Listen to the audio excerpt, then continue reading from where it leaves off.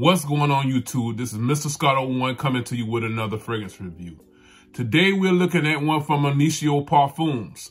But before we do that, let's roll my music.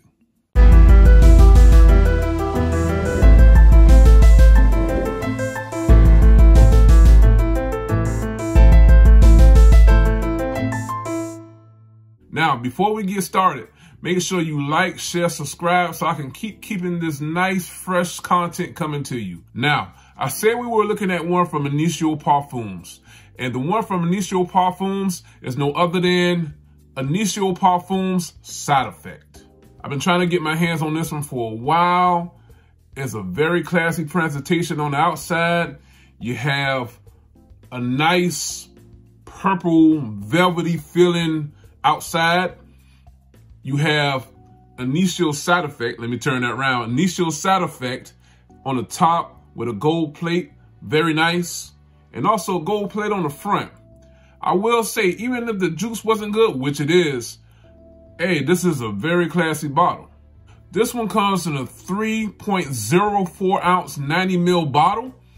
And this one costs around $300, but it's very well blended. And I believe it's worth every dollar. Not only is this bottle nice, but the packaging is gorgeous as well. Very sturdy. I know some of you don't like the packaging or whatever like that and throw it away. Hey, I did in the beginning too. For me as a collector, it completes the whole vibe of everything. In the beginning of this one, you get this Mike and Ike fruit candy type vibe. Like you just stuck your nose in a box of Mike and Ike's. Then almost immediately, like I said, 10 seconds later from this one, you start to get that rum note that they're talking about. You have vanilla in this that just gives it just a hint of sweetness, not overbearing.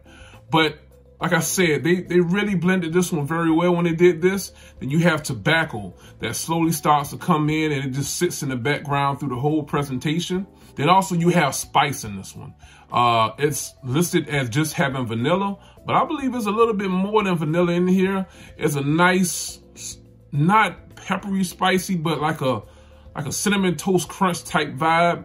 Um, and when I say that, don't take that literally. I'm just saying it's a very warm and cozy scent. And I recommend this for any age group. Any age group, I would recommend you stick to the night with this one. Mm, very nice. Let's take a look at the atomizer. Oh yeah, they got down with that atomizer. It's very nice too. You're gonna get compliments with this one.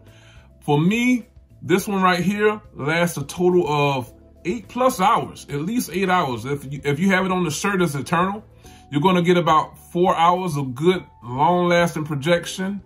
And this is gonna set you apart. It doesn't have a lot of notes, but it's very well blended. And like I said, I think there's more to this than what they're saying. With Initio Parfums, their line is meant to be mixed with a lot of their other fragrances like Magnetic Blend number one through seven, eight. I forgot how many they are, but take a look at it. This is a very interesting house. My goal is to get hold of every last one from this line.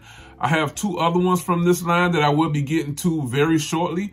Um, I don't know about tonight. Um, as you can see, my uh, schedule has been a little bit busy lately. Um, but I love you all and I got to make time for you. Well, you've got my opinion on this one.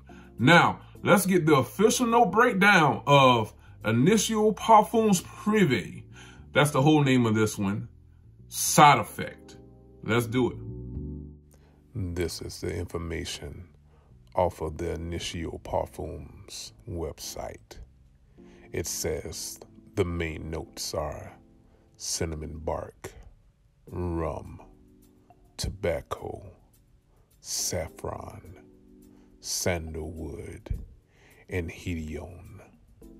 But the site also speaks of leather and vanilla.